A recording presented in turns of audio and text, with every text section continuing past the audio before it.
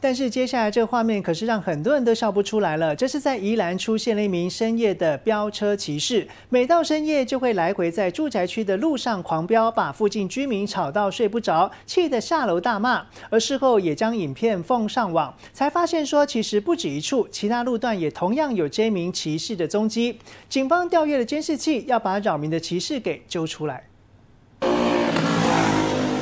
一辆机车呼啸而过，划破深夜的宁静。还不止这样，这位骑士回转之后，继续尽情狂飙，住户被吵得睡不着觉，冲下楼拦截车主。你干嘛一直在这里挤？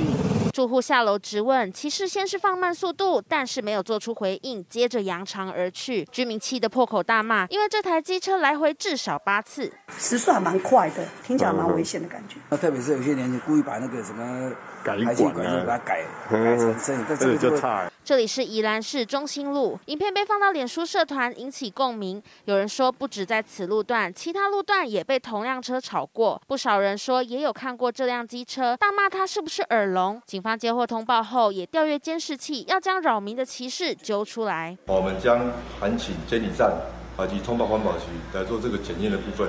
根据规定，原地九十分贝，行驶八十分贝就算违规。若车主违规，恐怕得吃上一千八百元到三千六百元的罚款。记者依兰综合报道。